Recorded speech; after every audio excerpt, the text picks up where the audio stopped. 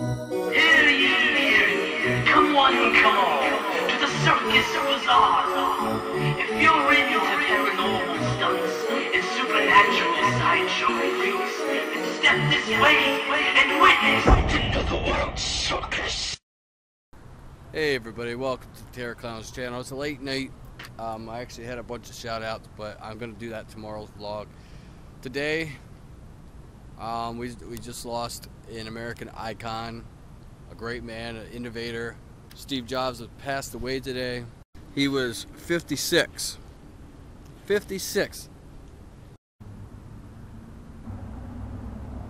But uh, yeah, I already did a kind of video, so if you haven't already seen it, um, it'll be at the end of this video, so I'll just put it at the end of this. You know, I know that a lot of he meant a lot of things to a lot of people, and I just saw the iJustine video, so yeah, she was crying and everything, and meant a lot to her. I mean, you know, you guys know. I mean, if you watched iJustine, you know what I'm talking about.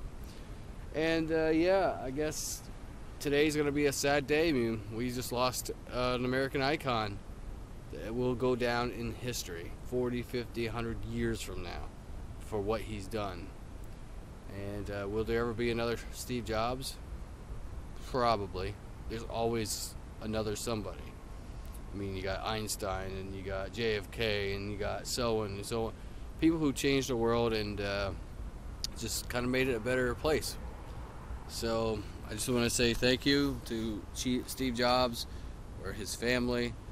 And uh, I'm just to end the video. So I'm to take a moment of silence. Until next time, thumbs me up and take care.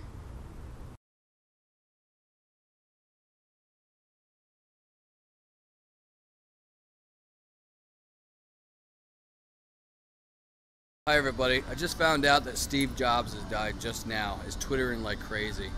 All I can say is it's a sad day, tragic day for everybody involved, families, friends.